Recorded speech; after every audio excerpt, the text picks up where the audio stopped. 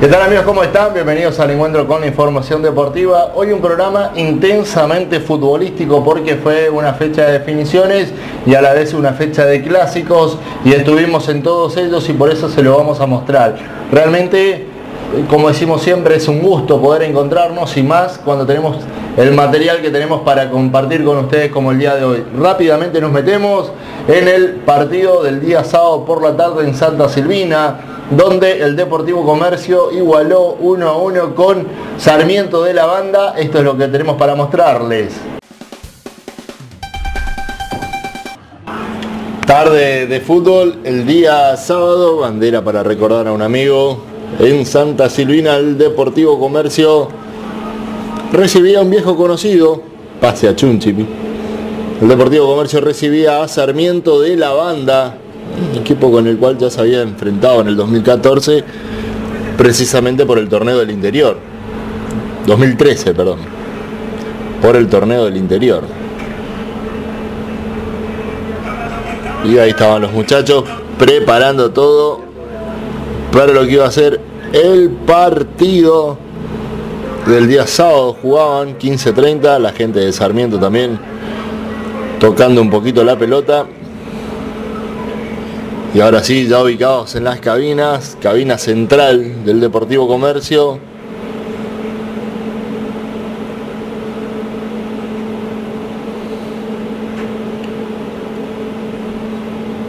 En este momento se ve bien por afuera, pero hay partes en las que el vidrio opaca un poco la visión para trabajar con las cámaras de televisión. ¿Eh? Ahí hay algunas manchitas o lo lavamos bien al vidrio del lado de afuera o habría que implementar alguna forma de sacar ese vidrio para poder trabajar con una ventana corrediza o algo similar para, para poder firmar bien los partidos. Comercio fue dueño del partido, pero no tuvo buena efectividad y rápidamente abría el marcador. La gente de, Sarmiento de la banda. Se ponía en ventaja con gol de Torres precisamente 1 a 0 y sorprendía en Santa Silvina. Después como le dije iba a ser todo de comercio. Buena tarde del portero Toniato que se atajó todas.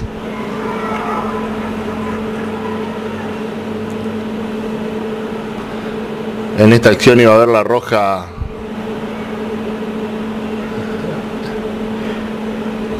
Wilfredo Vera, ¿eh? no podía creer, pero sí, le metió el codazo y tenía que irse al vestuario. Tiro libre, pelota recuperada por Ríos. Abre hacia la derecha. Y Franco Rossi ponía la igualdad.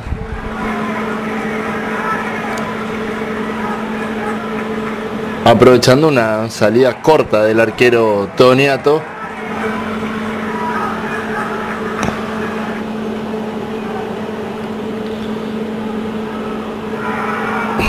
Y en esta le cobraban posición adelantada, que realmente la vimos 10 millones de veces y no la encontramos. ¿eh?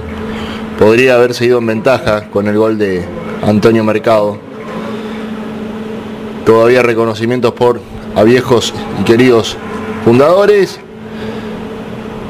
Y en esta Yolán se lo perdía también. Muy pocas oportunidades tuvo el equipo de Santiago del Estero el Chelo que estuvo magnífico en esta atajada. Fue dueño y señor comercio, pero le faltó puntería. Le faltó esa cuota de suerte para ganar el partido y ahora la próxima semana se va a enfrentar a Güemes, precisamente de Santiago del Estero, en la provincia vecina. Última pelota del partido, pero bueno, ya había cobrado la falta del árbitro de resistencia. Y en esta, que parecía que se colaba por arriba, Toñata contenía. Últimas jugadas. Se va al lateral. Nuevamente intenta la pelota la gente de Sarmiento por la banda izquierda. Y ahora sí, va al lateral, cabeza a las manos del Chelo. El Chelo intenta jugar rápido, pelotazo.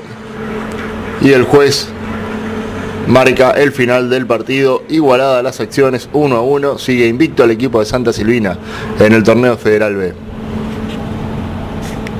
Ahí vieron el empate de comercio 1 a 1, con esto el equipo de Santa Silvina sigue invicto en el torneo, pero está tercero en la zona. Se va a enfrentar el próximo fin de semana a Guzmán de Santiago del Estero, este equipo santiagueño que viene de ganarle en Charata a Juventud este pasado fin de semana por 1 a 0 y bueno, de esta forma eh, también es uno de los invictos del certamen y se podría estar jugando el viernes por la noche en Santiago del Estero este partido. Así que vamos a esperar, vamos a ver precisamente cómo, eh, si el lunes por la noche ya se conoce o martes, cuándo se va a estar jugando precisamente eh, este partido. El día domingo, ayer precisamente en la cancha, la gente de Santa Silvina decía que era muy probable que se juegue viernes por la noche precisamente el partido de comercio visitando a Guzmán de Santiago del Estero. Pausa y cuando volvamos nos vamos a meter en los clásicos de Villángela por la séptima fecha del fútbol de Afoch.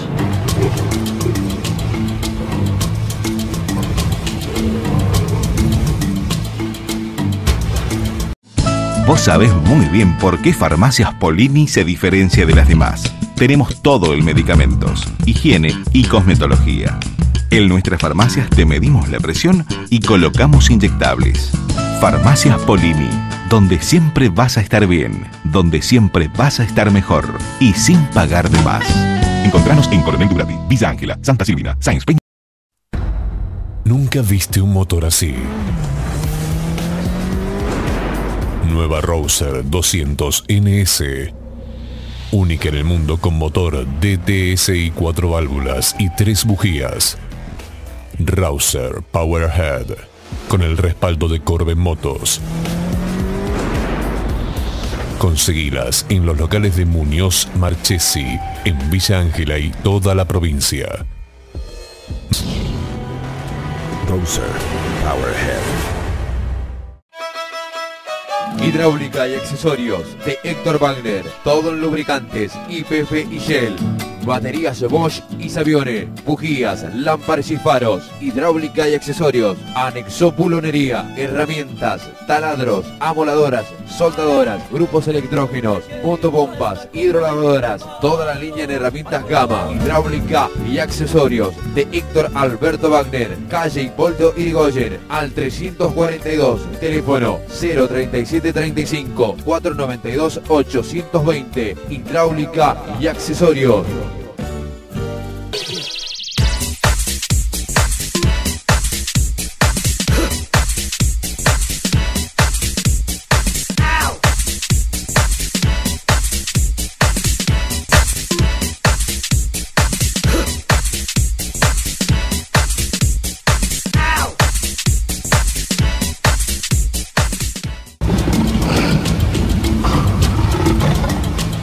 Segundo bloque de Sport TV y nos vamos a meter precisamente en la definición del torneo. No, todavía no nos vamos a meter en la definición.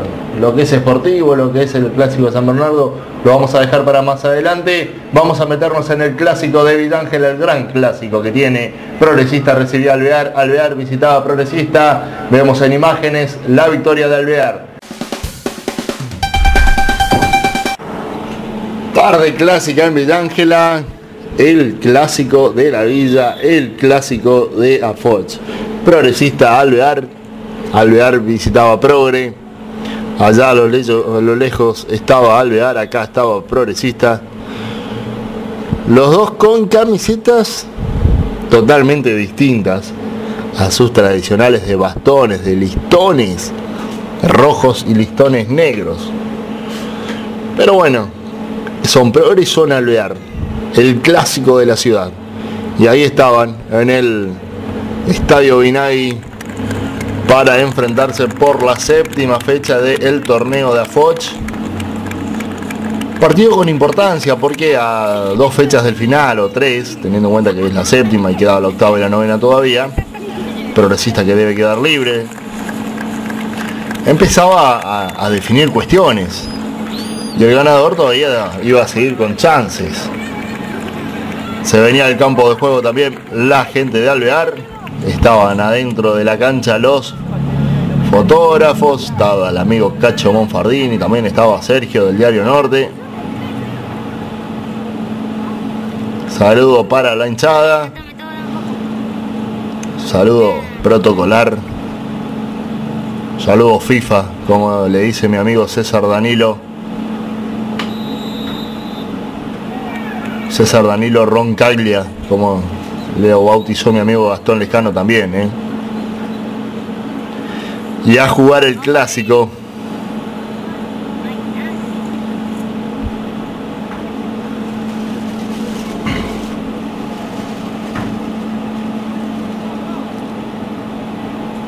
intentaba alvear en los primeros instantes, pero despejaba bien. Progresista. Centro desde la izquierda, sin preocupaciones para Progre. Y el negro que tiraba una volea impresionante y Benítez que se lucía. El arquerito que, y en esta reventaba el travesaño. ¿sí? Terrible volea que metieron los chicos de Progre para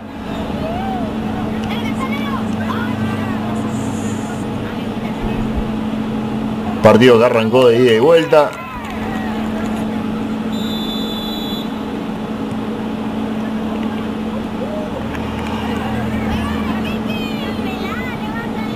Para mí que el árbitro podría haber puesto una camiseta un poco más oscura en uno de los dos. ¿eh? En este caso progresista era local. Podría haber tenido más vivos, más oscuro, algo más fuerte. Bastante blanco los dos o por lo menos los pantalones tendrían que haber sido negros de progresista.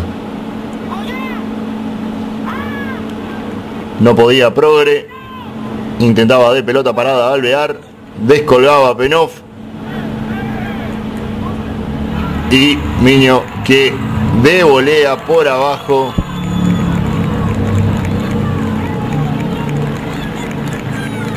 Penov que salía con los puños para adelante, quedaba totalmente descolgado y después tapado, no llegaba para sacar esa pelota que Miño mandaba al poste izquierdo. Y la diferencia era 1 a 0 para Alvear, que empezaba ganando el clásico. Defendía como podía Alvear. Y en esta el córner, pasado, cabezazo, queda el pique, nueva pelota al área. Y Kiki Nardo la mandaba al fondo de la red con una chilena muy bonita, ¿eh? Muy bonito gol de Isnardo para poner la igualdad en el partido. Pero más allá de lo bonito en un clásico hay que hacer los goles y eso significa ganar los partidos. Zapit que miraba el partido decía, oh, esta noche tengo que jugar y está fresco, decía Sandoval. Estaban los muchachos. Iba a alvear nuevamente. Pelota parada, pero lejos del arco de Penov. Benítez que con los puños despejaba. Y en esta nuevamente el arquerito de Alvear. Que entró como relevo y le fue bien en este partido. Qué lindo gol de Alvear para poner el 2 a 1 y firmar la victoria, claro, porque el partido terminaba 2 a 1 y Alvear volvía a quedarse con un clásico, como lo viene haciendo en los últimos tiempos, el decano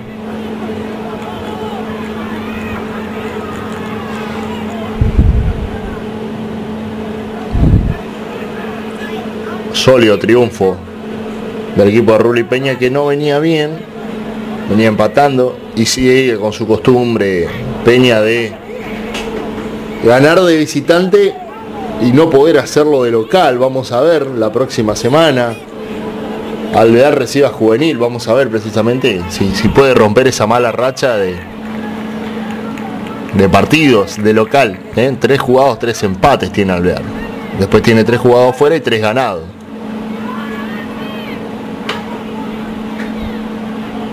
Alvear es uno de los invictos del torneo. Junto a Comercio, los únicos invictos. Final del partido, decía Maxi. Y festejaba la gente de Atlético Alvear el gran triunfo conseguido en el clásico en la tarde del día sábado en Villa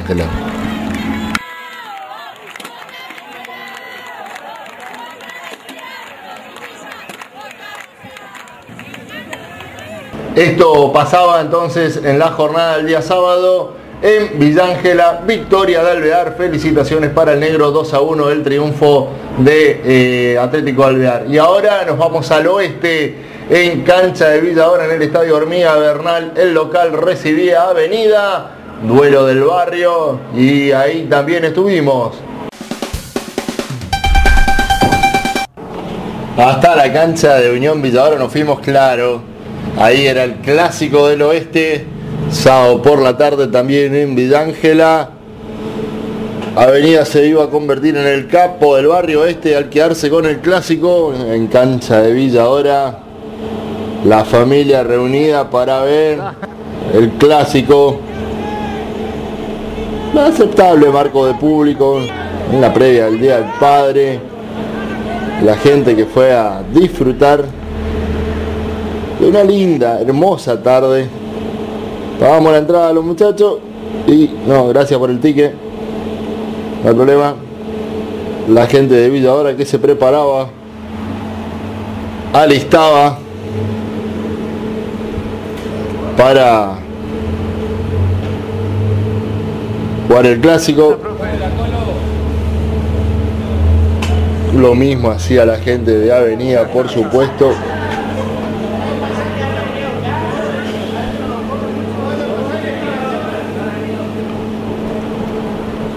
Las chicas que tenían el agua a punto y ni te cuento lo rica que estaban las tortas asadas. Clásico del oeste. La gente de Avenida que también estaba en la tribuna.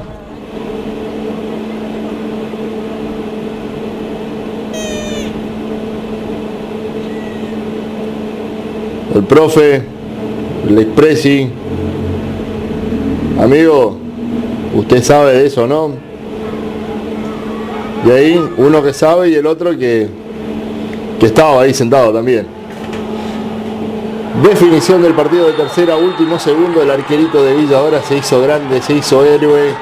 La sub-19 contuvo el penal y festejaban los pibes de la sub-19, claro. Y ahora sí, ya vamos a meternos en la primera división. La gente de Villa, de Avenida, perdón, Avenida, le ponía color, ponía globito, ponía papelito. Y ahí se venía Maidana,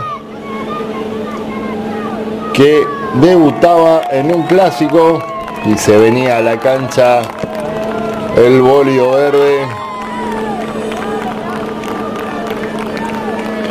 que venía nada más y nada menos de que de cuatro derrotas. Quería revertir la imagen. La gente de Villa ahora, última en la tabla, más que revertir la imagen. Soria que quería carrerle en la red y Topo que quería conocer los autos nuevos, dice en este no lo conozco. Y a jugar se ha dicho Avenida movía las primeras acciones, jugaba a favor de viento el equipo de Escribanitz, pero bueno, en primera parte no lo pudo aprovechar Avenida. Bien contenida por la defensa, pelota parada para Villadora, pero no era aprovechado. Posición fuera de juego marcaba Soria. La intentaba parar el gringo Uch y decía, ay, ay, ay, le dolía, no va más. No, no. 10 minutos del primer tiempo y el gringo pidió el cambio. Va el Seba, pone la pelota al área, le rebota en la cabeza un defensor de Avenida, intenta Villadora, pero despeja bien la defensa del bólido. Nueva pelota parada, oportunidad para la gente de Avenida en los pies de Puchín, pero se va lejos la pelota.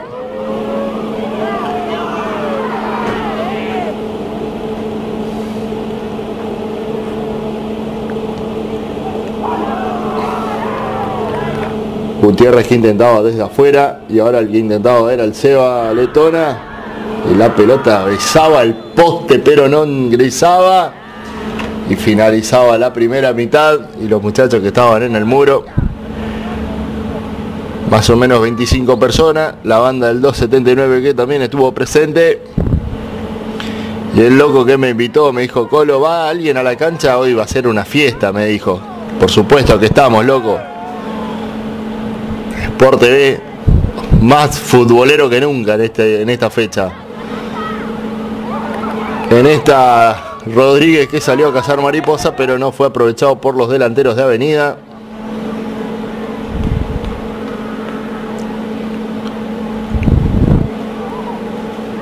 La alcanzó a tocar Rodríguez. Y realmente no sé qué cobra el juez a instancias del juez de línea. Pero bueno, no convalidó ese gol. Para mí uno de los errores de la tarde. Gonzalo que lo hace muy finito, ¿eh? Y ahí estaba Soria para decir no, no, estuvo adentro. Y en esta corre Ceballos. Y el propio Ceballos cayéndose. Lo festeja el amigo, pero no estaba adentro, amigo, cuando usted la empujó, ¿eh? No era suyo.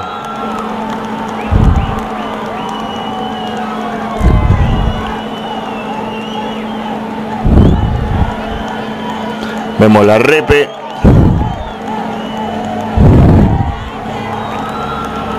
ponía en ventaja a la gente de Villa ahora 1 a 0 en el clásico y festejaba, claro.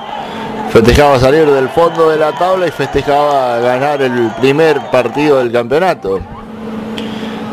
Tenía posibilidad de aumentar, pero en esta Soria se equivocaba y levantaba la bandera. Bien habilitado estaba el delantero de Villa ahora.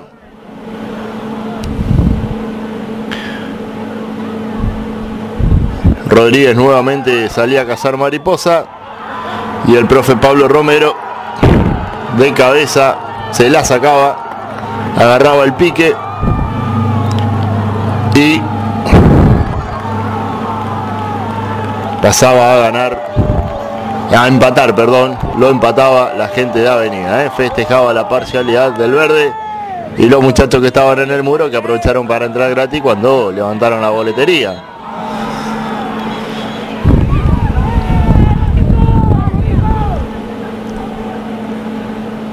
Se mandaba el delantero. Penal cobró mañana y le reclamaba a toda la gente de Villadora que era fuera. Reclamaba muchísimo a la gente de Villadora y lo vamos a ver, es para recontraanalizarlo. Y es ahí, en la línea dentro, afuera. Para mí, si quiere ya lo vi muchas veces, para mí fue penal correctamente. ¿eh? Va Gutiérrez, y pone arriba al verde. 2 a 1 para el festejo de los pibes del sub-19 para el festejo de toda la gente. Seguía reclamando la gente de Villa le decía pero fue afuera pero fue afuera y bueno lo vimos en la tele y fue adentro muchachos Gonzalo que contenía bien esa pelota. Pelota parada y se iba penitas por arriba. El partido que ya llegaba a su final. En esta desaprovecha avenida para poder ampliar la diferencia. pero no lo va a hacer. Miren acá, miren allá atrás, atrás.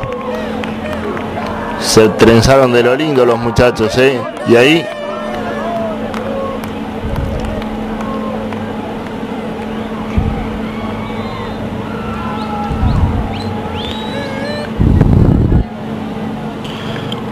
roja para Silva.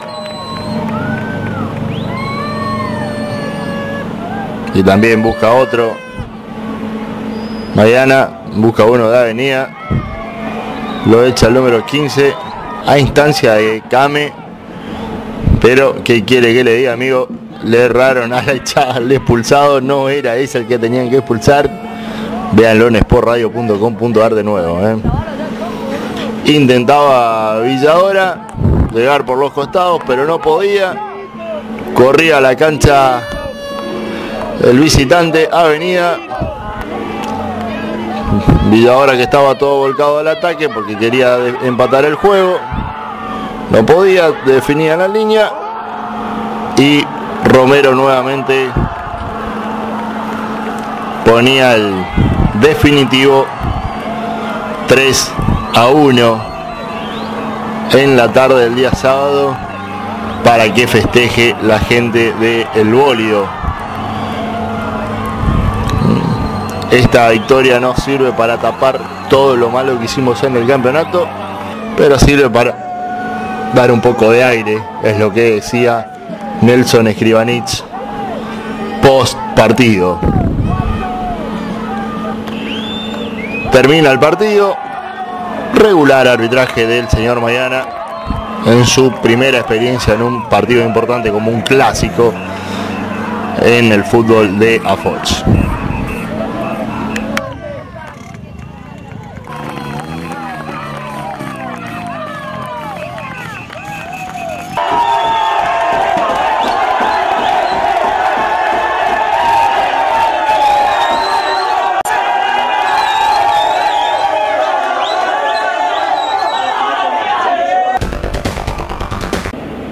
La victoria de Avenida Fútbol Club 3 a 1 sobre el equipo de Villadora. Con esto no salvamos el año después de, tantas derrotas, dijo Chori Skrivanich, pero por lo menos sirve para levantar el ánimo de cara a las últimas dos fechas que se vienen para la zona 1. Los otros partidos de esta zona la gente de Juventud sorprendió y en el final se trajo una victoria el sábado por la tarde ante Juventud 3 a 2, la victoria del decano de Villángela y en la noche del domingo la gente del Deportivo Comercio vapuleó a Marcelino Ugarte 8 a 1, la victoria de Comercio, tres goles de Benedek, eh, el chico de Coronel Durati que es uno de los goleadores del torneo de AFOCH precisamente en este certamen. El pibe de, surgido en la escuelita Matías Ren, hoy en el Deportivo Comercio, que tiene gran proyección. ¿eh? Lo están de a poco llevando para poder eh, llevarlo al fútbol grande, ¿por qué no? El, el pibe Benedict, que es uno de los goleadores precisamente del, del certamen. Tiempo de pausa, cuando volvamos nos metemos en la definición de la zona 2.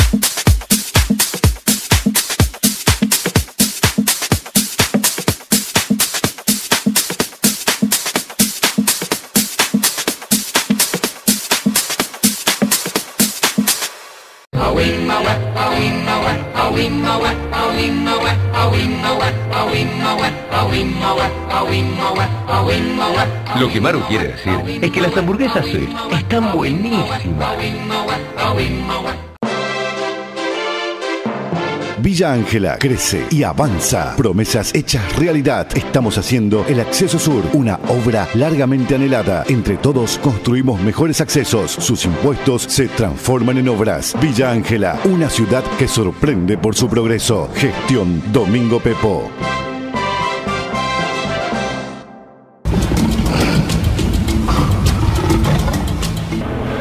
Último bloque de Sport TV y bueno, eh, los cráneos del fútbol de Afoch, los que se sientan los lunes a calentar silla en la mesa, nadie se dio cuenta que se definía la zona 2, se jugó un partido en la tarde el día sábado, un partido el sábado de la noche y el otro partido el domingo, todos con los resultados puestos, sabían qué tenía que pasar. Cuando en cualquier parte del mundo, en cualquier torneo de barrio, si se está definiendo, se juega todo en la misma hora, salvo en Afoch. Los cráneos de Afoch ellos van solamente a calentar silla a, las reuniones de los días lunes, nadie se dio cuenta que tenían que jugarse toda la misma hora. lo que respecta al fútbol en la parte deportiva, el Deportivo Español recibía a eh, los Sirirí, no, se enfrentaba a los Sirirí, era visitante español en su propia cancha, se visitaba con los Sirirí el sábado a la noche, partido que eh, fue entendible, se postergó 24 horas por eh, el fallecimiento de, una, de la mamá de uno de los jugadores de Sillery. Estuvieron todos de acuerdo, nos pareció correcto, se pasó, postergó 24 horas. Sábado de la noche, Español ya jugaba sabiendo el resultado de Matías Renz, que le había ganado 3 a 2 y momentáneamente se subía a la punta la, la escuelita Matías Renz de Coronel Durati y tenía que esperar un par de resultados para ilusionarse con clasificar a las semifinales el equipo de Matías Renz. Si Español perdía por más de dos goles, Rennes iba a estar momentáneamente clasificado y dependía de Tigres si ganaba para clasificar Rennes. Esto es lo que voy con la, forma de disputa de la definición que realmente fue inentendible. Toda la semana estuvimos tratando de explicarnos por qué la gente de, de Afox programó de esa manera. Pero bueno, ¿qué vamos a pedir? Eh, el sábado por la noche, el Sportivo Español goleó a los Sillerí. No, hubo que hacer muchas especulaciones y se metió derecho a las semifinales. En la fresca noche del día sábado se jugaba uno de los partidos más importantes del fin de semana, más allá de los clásicos, este era importante porque empezaba a definir la zona 2. Y ahí estaban los muchachos de los Irirí haciendo su entrada en calor.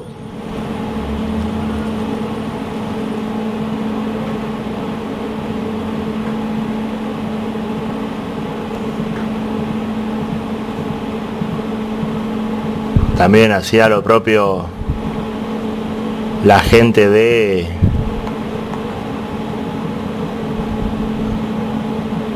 Esportivo y bueno, con esto del fútbol, los cráneos del fútbol, los partidos importantes se jugaban todos en distintos horarios y días. Qué lindo volver a ver a la gente de español, la banda del Prado, miren los colores que tenían los gallegos hacía mucho tiempo, del 2004, que no estaban en instancias tan importantes y ellos querían volver a alentar a, sus, a su equipo con todo el colorido.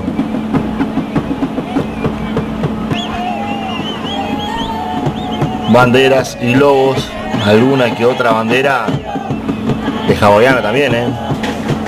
Ah, no sé, digo, qué sé yo, de pronto me parece. Y a la cancha venía Maxi, que había estado en la tarde en la cancha de al lado, ¿eh? dirigiendo el clásico Pro Real También a la cancha de los Inerí y miren el recibimiento para Español que estaba nada más que a un punto de meterse en las semifinales nuevamente del torneo. Muchachos, tranquilidad, no nos vamos a golpear, decía Maxi. Es tarde, hace frío, minuto de silencio en la cancha para recordar a la mamá de Juancito, de Juancito Pedernera, ¿eh? jugador de Sirirí, que bueno, por eso no se jugó el partido el viernes como estaba programado y sí se jugó en la noche del día sábado, 24 horas después. Arrancaba el encuentro, Español, como les dije, necesitaba solamente un punto, con el empate prácticamente le alcanzaba para clasificar pero quería un poco más. posición fuera de juego.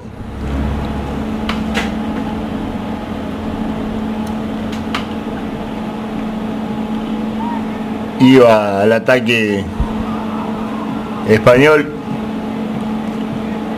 10 que controlaba ese balón de la gente de Siriri. Y rápidamente el encuentro se abría a los 5 minutos 6 con el gol del Corcha Aguirre que de cabeza descolgaba un centro y ponía en ventaja al equipo de Pipi Galeano. Por la izquierda iba el Monchi, pero el Nahui se revolcaba y no pasaba nada. Intentaba descontar, pero no podía llegar bien al arco. Y en esta, una de las acciones polémicas, clara mano de Sportivo Español en el área, clarísima mano. El jugador tuvo toda la intención de tocarla con la mano. El único error de Maxi en tres o cuatro fines de semana que viene dirigiendo. Balnaui y pone en ventaja a los 17 minutos del primer tiempo a Sportivo Español por dos goles a cero y empezaba a darle la clasificación al equipo de Pipi Galeano. Claro, con la victoria podría hasta terminar primero. Algo que sucedía después.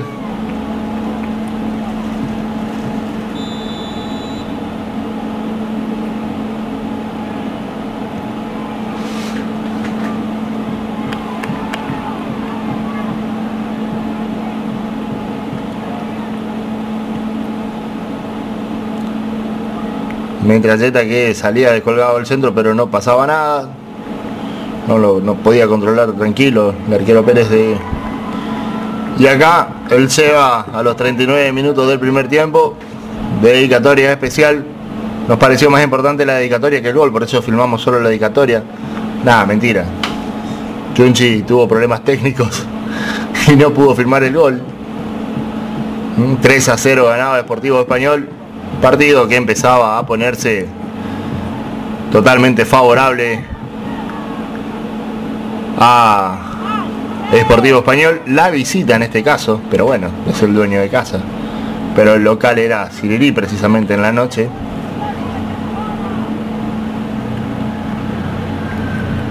Pelota recuperada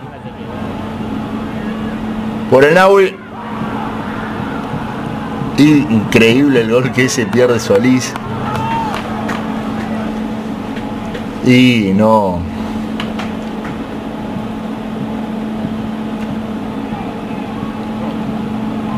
Y en esta sí, centro de la derecha.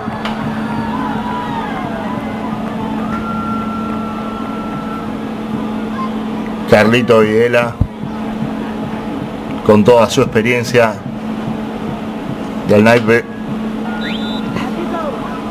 Cuando finalizaba la primera mitad ponía el 4 a 0. El relator Chicha no se anima a poder decir partido liquidado. Claro, se acordaba de aquel 4 a 0 que Escalada ganaba el año pasado y después este Sportivo Español, no este, pero el Prado justamente lo igualó 4 a 4 en una tarde de sábado. Pero como estaba este partido, 4 a 0, ya hacía prever que podíamos técnicamente apagar las luces, algo que pasó en la primera mitad, ¿eh? cuando finalizó el partido. Bueno, y acá el Seba Solís que decía Chunchi no firmó el primero de mis goles, voy a hacer otro. ¿Eh? De cabeza por arriba del arquero. Ya que Chunchi no firmó el primero, tengo que hacer otro para que para así salir en la tele. Victoria 5 a 0 Deportivo Español.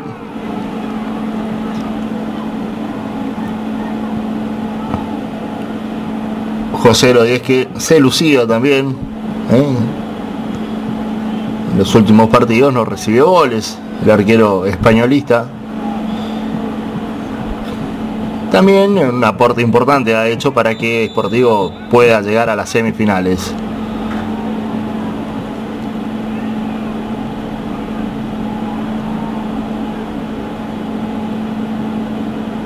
El golero de Siriri que de noche usaba gorra. ¿eh?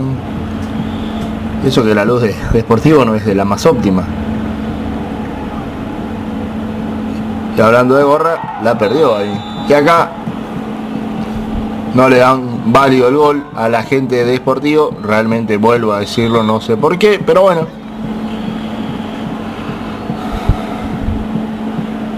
Finalizó el partido. Sportivo Español vuelve a estar en una instancia decisiva de un torneo después de 11 años. bueno, eh, contento, feliz, así que mañana, si Dios quiere, voy a comer un, un asadito eh, feliz y contento porque clasificamos. Ni, ni- no van a estar atragantados esperando resultados. No, no, por eso nosotros dependíamos de nosotros, habíamos hablado nosotros que todos dependíamos de nosotros, eran siete finales que teníamos que, que cumplir y bueno, se cumplió, nos quedan dos finales más porque queremos clasificar eh, por lo menos para un federativo.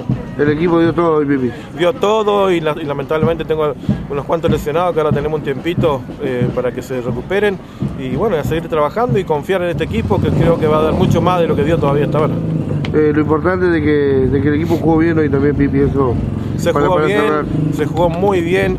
Hay, hay veces que hay, te tocan equipos que son muy, muy duros y no te dejan jugar, o sea, eh, pero hoy se jugó bien, se jugó tranquilo, salimos a hacer nuestro juego, como yo le dije, vamos a jugar tranquilo, sin des- desesperarnos, porque vos te desesperás y con los nervios te llevan a hacer otra cosa, pero hoy eh, se cumplieron al pie de la letra y bueno, sacamos un resultado excelente y se hizo un partido excelente. Consiguieron el objetivo de clasificar. Sí, Chucho.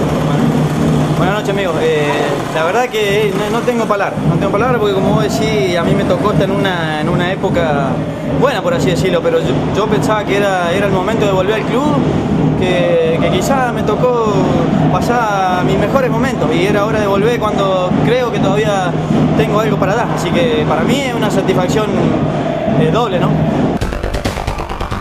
Ahí vieron la victoria 5 a 0 de Sportivo Español el sábado a la noche, donde se metió derecho a semifinales después de 10 años. El Prado vuelve a ser protagonista de un torneo de AFOCH y eso es lo que buscábamos, dijo Pipi Galeano al comienzo de la temporada. Y ahora sí, nos vamos a la gran fiesta, la fiesta de San Bernardo. Aún más todavía con el resultado opuesto jugaban los equipos de San Bernardo que ahí sí ya sabían que el ganador clasificaba o el empate le servía a Tigre. Vemos el gran clásico de San Bernardo. A San Bernardo, capital de la primavera, nos fuimos en viaje, por supuesto, para ver, miren lo que era la llegada, nada más a la cancha. Carlitos, Galleta, César, todos fuimos.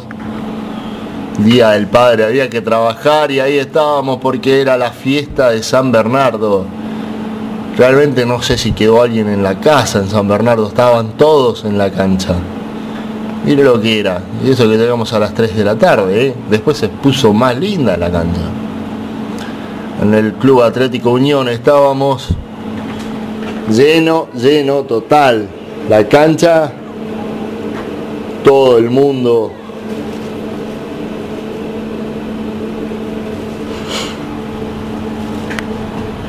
Los chicos del Gaby López que necesitaban la victoria para pasar a semifinales. Walter, y ahí estaba el Gaby, tratando de darle tranquilidad a sus muchachos. Los chicos de Tigre, que habían llegado como punteros a esta fecha, pero bueno, ahí momentáneamente estaban segundos ahora.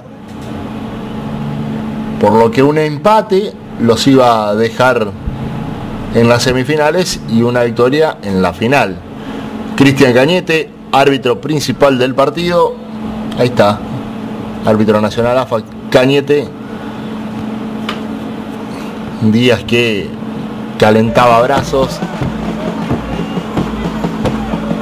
Y la banda de Unión que llegó. Estaban calentando motores también los chicos. Llegaba la banda el gringo de Dutch también. Últimos movimientos de la gente de Tigre. Vamos a recorrer un poco para mostrarles cómo estaba precisamente la cancha previo al arranque del partido. Mucho público. realmente las tribunas colmadas y la banda que iba buscando su lugar ya estaba todo lleno no sé a dónde iban caras largas caras malas de otros porque decían por qué vienen por qué se meten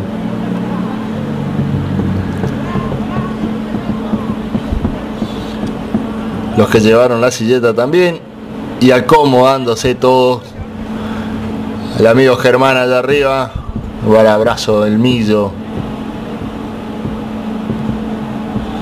estaba en disputa la Copa 82 aniversario de la Municipalidad de San Bernardo. nuevo Tigre y la gente Unión de San Bernardo. Recordemos Sportivo Español. César Fernández, la voz que llevó el fútbol el domingo y el equipo de Unión de San Bernardo a la cancha, una fiesta en la tribuna con los chicos de las formativas el grupo de árbitros, cuatro árbitros para un partido importante y dándole un marco también más lindo. Tigre a la cancha. Saludos.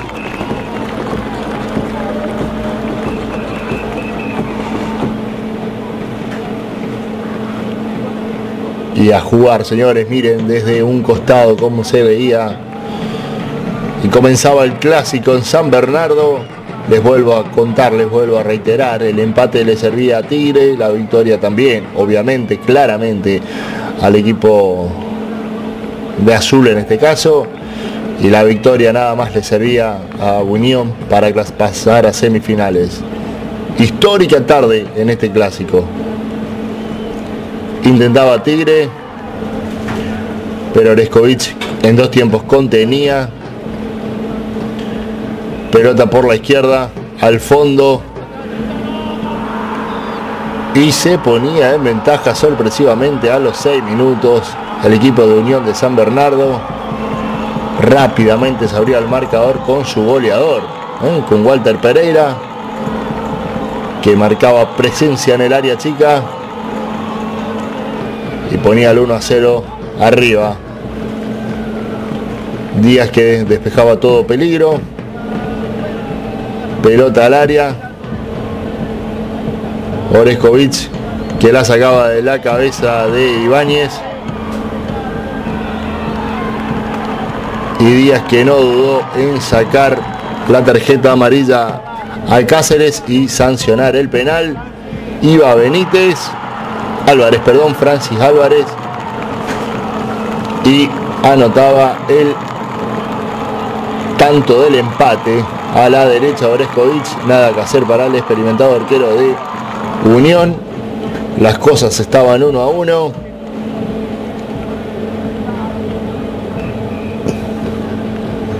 Intentaba de pelota parada el tío Pedroso, pero se iba ancha, no podía. Nuevamente la pelota para Pereira que metía al centro, pero no era aprovechada por sus compañeros de equipo. Juego fuerte en el medio de la cancha, pero sin consecuencias. Había que seguir jugando y muy bien. Qué buena habilitación de Benítez para Núñez. Y el delantero de Tigres no escatimó el nervio para pararla y definir. Y Oreskovic no tuvo nada que hacer, solamente ir a buscarla dentro del arco. 2 a 1 ganaba Tigre y se recontraclasificaba como puntero de la zona hasta el momento. Nueva pelota parada, Díaz que despejaba con los puños. Finita se iba a la pelota, Cuevas le pegaba muy bien a la pelota parada precisamente. Fuera de juego lo que sancionaba Rodrigo Acosta levantando su bandera. Nueva chance para el equipo de Unión y Díaz alcanzaba a tocarla a la pelota que Encina mandaba por arriba de la red. El tío Pedroso mandaba un centro, para mí de lo más exquisito de los últimos tiempos.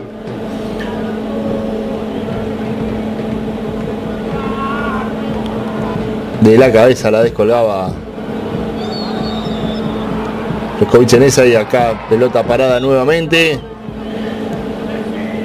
Qué tiro libre magistral Golazo de Aguirre para poner el 2 a 2. Nada que hacer para Díaz. Fue por arriba de la barrera. Qué golazo de tiro libre que pegó Unión. Iba Álvarez, pero muy alto. Nada que ver al tiro anterior. Y Cristian marcaba el final de la primera mitad. Tiempo para descansar, tiempo para cargar los termos, porque se venía una batalla en el segundo tiempo. Literal, ¿eh? un partido que había que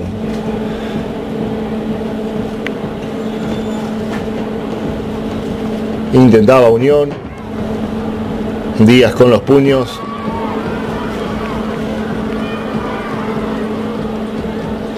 Benítez que se enredaba con la pelota, la agarraba Álvarez, tampoco podía hacer mucho. Saque de arcos lo que decía Cañete. Y en esta se lo perdía Encina, pero de todas formas era fuera de juego. Pero de último hacerlo al gol y después que te lo anulen. Era más fácil hacerlo que errarlo a ese. ¿eh? Intentaba Unión recuperar esa pelota que se daba por perdida. Bocha al área. Y él fuera de juego sancionado por Cañete.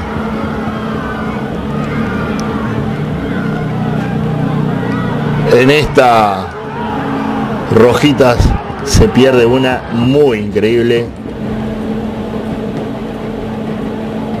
Y acá Cañete no duda, penal, minuto 36, 38, falta de Ibáñez, clara falta, dejó la pierna puesta, el agente de Tigre no lo podía creer, minuto 38 del segundo tiempo. Todos a reclamarles a Cañete, anda para allá, ya está amigo. A los vestuarios le dice a, a Ibáñez. Y un petardo que cae a la cancha.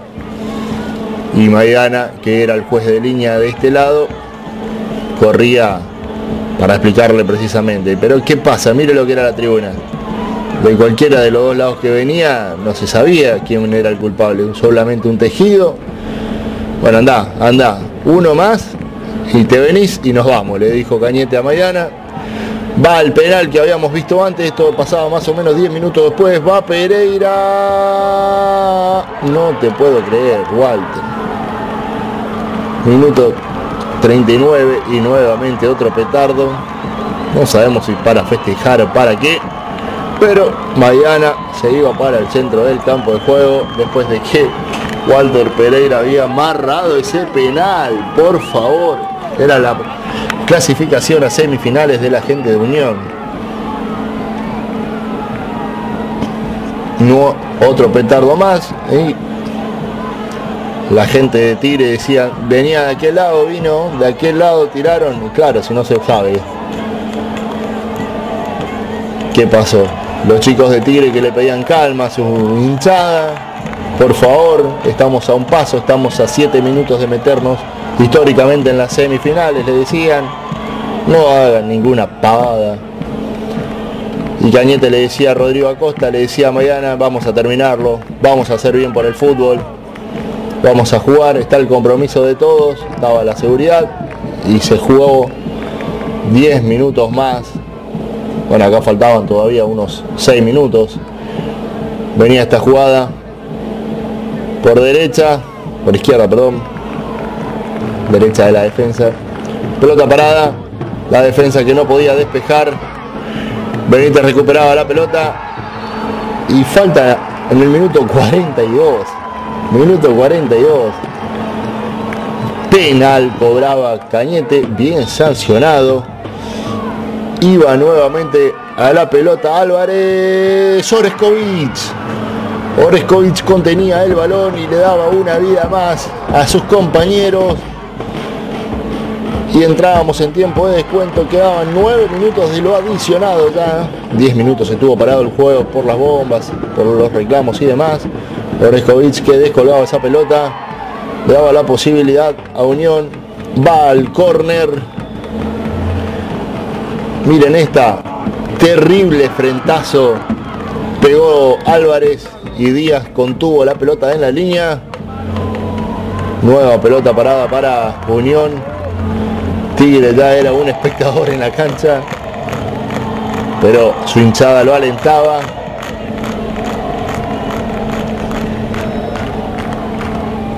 Se viene la última. Silva de 9 iba con la posibilidad de quedarse con la victoria al defensor. Pero Cañete decía, dame la pelota, señores, nos vamos. Final del partido, Tigre históricamente consigue su primera clasificación a semifinales. La gente de Unión no lo podía creer. Todos festejaban y más allá de los cohetes, felicitaciones para San Bernardo por la fiesta, porque fue eso, terminó todo en una fiesta, los chicos de Tigre festejaron, la gente de Tigre aplaudió y la gente de Unión de San Bernardo también aplaudió a sus jugadores y todos entendieron que el fútbol es esto, se gana, se pierde y todos vamos a la casa. Felicitaciones San Bernardo. Eh, sí, me costó mucho, sufrimos un montón. Aparte de la expulsión, eh, tuve con remate. Pero acá terminamos un poco cansados, terminamos. ¿Qué objetivos se plantearon de ahora en más? Eh, queremos salir campeón. Yo peleo para salir campeón. Muchachos, eh, primero felicitaciones por la clasificación. Eh, el subsecretario Miguel Sotelo va a hacer entrega del, primer puesto a ustedes, del trofeo aniversario de la localidad de San Bernardo.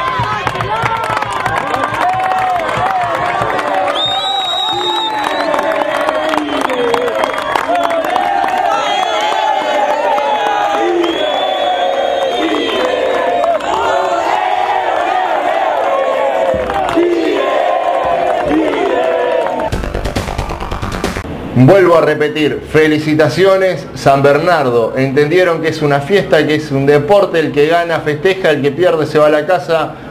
Más allá de los petardos, más allá de eso, muy bueno el comportamiento del público de San Bernardo que eh, los que ganaron festejaron, los que perdieron tranquilamente se fueron a la cancha, a la casa eh, y eso es lo que debe suceder. Felicitaciones a Tigre que por primera vez llega a semifinales del fútbol de Fox.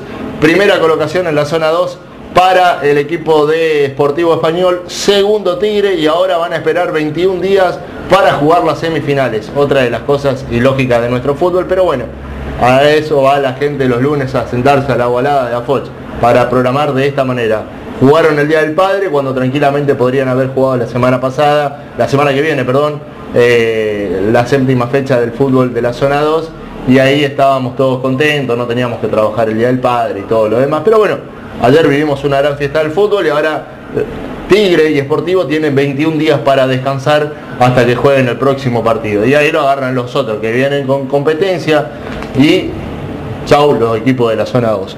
Vamos a ver cómo se va a jugar la octava fecha de la zona 1, donde Alvear y Juvenil se van a enfrentar Alvear está momentáneamente segundo de la zona 1, Juvenil está quinto, después Juventud se va a enfrentar en Villángela con el Deportivo Comercio, la gente de Juventud está tercero, Comercio está primero, Ugarte recibe a Villadora, partido ya sin trascendencia, y Avenida recibe a Textil también, partido sin importancia. Queda libre en esta oportunidad el Club Unión Progresista, partidos sumamente importantes, la gente de Alvear recibiendo a Juvenil, partido que define posiciones, y Juventud recibiendo al Deportivo Comercio también, un partido que define posiciones. Posiblemente la gente, si Comercio juega el viernes, le va a pedir a la gente de Juventud jugar domingo, ¿por qué no sábado? Pero eh, vamos a ver ¿eh? qué pasa en la reunión de AFOT precisamente. Señores, verán mi corbata, toda de pelotitas, claro, hoy fue un programa increíblemente futbolístico como no lo tenemos acostumbrado, pero bueno, fue la actividad que hubo este fin de semana. Ya para la próxima semana nos vamos a meter en ritmo de básquetbol también en Villángela porque se habla mucho de Liga Nacional, Torneo Nacional de Ascenso, Villángela Básquet. Todo esto en un informe que vamos a preparar para la semana que viene para que usted pueda verlo. Ya sabe, www.sportsradio.com.ar, la forma de ver el deporte todos los días, las 24 horas y también la posibilidad de ver Sport TV nuevamente en la página del Deporte del Sudeste Chaqueño. Muchas gracias por estar nuevamente acompañándonos.